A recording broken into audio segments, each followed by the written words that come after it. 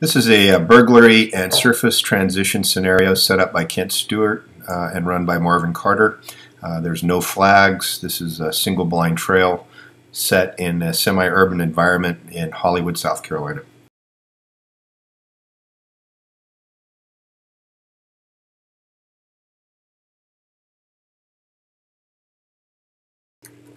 This is a burglary scenario where the uh, suspect contacted the door and because of the hand odor, the dog's just naturally gravitating to it. You can see how the dog wants to go and check it. As a matter of fact, we'll come back and check it again right here. This is because it's a concentration of odor that's stronger than the trail odor. The dog has odor all across this deck of the person that it's looking for, but it needs to find an exit trail. You can see that heads up looking through the gate there, and it appears that the dog detected something. Watch when it hits the trail hard. You're going to see a big change in body language. Nose down, tail in a good trailing posture, and here we have a sudden surge in direction of travel. It's going to change as soon as you go around the corner coming up here.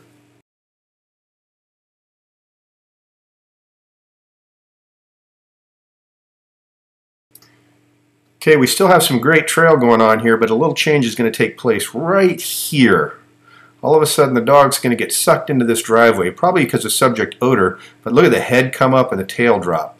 That's probably distraction odor of another animal, perhaps a cat or another dog. It takes a minute for the dog to reacquire. That slight distraction changed things for a little bit, so it takes a patient handler to try to figure this out. Let's see if we can find where the dog picks up the odor again. Obviously, it's following something. It detects something here, some blown odor, perhaps something right here. It's not an exact trail, but it's definitely some odor. And it ends right up here on top of the railroad tracks. This was hunting behavior, but it was based on some wind-blown odor. The dog went up to the railroad tracks for a reason. It wasn't a track, it wasn't the exact trail, but there was odor up there. And you're going to see later it was due to what we call the apex of the turn. The turn is actually going to be here where the dog's going back to, where it collects the track once more. Okay, now this is trail odor that's actually blown. And uh, notice how the dog is actually moving forward uh, looks like it has something. This is some pretty good body language, but this casting to the left and to the right tells me that it's not a solid direction of travel. Now the head comes up and the tail drops. Probably nothing there, so the dog's coming back. This is more than likely a surface change and perhaps a change in direction of travel. The dog has odor, follows it all the way to the end. Nothing really here. Tries to go a little bit further. Probably has some odor, but it's just not strong. Comes out into the road trying to find the trail. Looking over here, Nothing much. This is a visual on that little piece of paper right there. The dog doesn't necessarily have anything quite yet. Nothing here, but it looks like the dog's detecting something to the right. I don't know what it is, but more than likely that's where the trail is. We probably had a road crossing going across the road to that little section right there. The problem with this section is that um, you have blown wind odor that's going to be on the soft surface going with the road. But obviously we have a road crossing that went off on a right angle somewhere back here. The dog's showing a negative and also showing it has bits and pieces of odor that went probably down the path of the grass along the road, usually due to wind-blown traffic odor.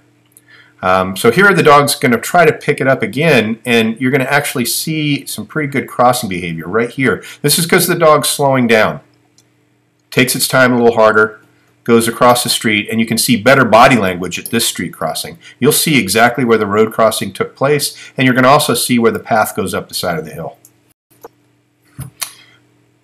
Now this is much better body language right here. It's definitely more committed, and the only way I can explain it is there's much more intensity and much more purpose with the dog's nose. You can see where you get a little tail wag right there. That's a strong indication that the dog's just reacquired the track. Now it's going up over the gravel, and the gravel is not going to hold odor quite like grass does, so it's going to be a little bit more meticulous dog, especially if he doesn't have a clear direction to travel. Patience is a virtue here because the dog's got hard odor. It's nice and strong, it's just not a clear path. That's because it's gravel and it's also baking in the sun. But you can see here the dog's picking up probably the strong points right exactly uh, where the, the scent is laid, but perhaps not exactly where the track was. So the dog comes back, reacquires, and then continues to follow odor. This is looking a little bit better right here. Look at this. Big change. Big, big change. This is stronger odor, and it's telling you that you have a bracket. This is the extent of the odor traveling down the tracks that way, and coming back, you're going to see the extent of it coming here. Now look at this little tail wag again. This might be the actual path where the person walked. Patience is a virtue. Don't push the dog and take your time. Once you get on the grass, it's golden.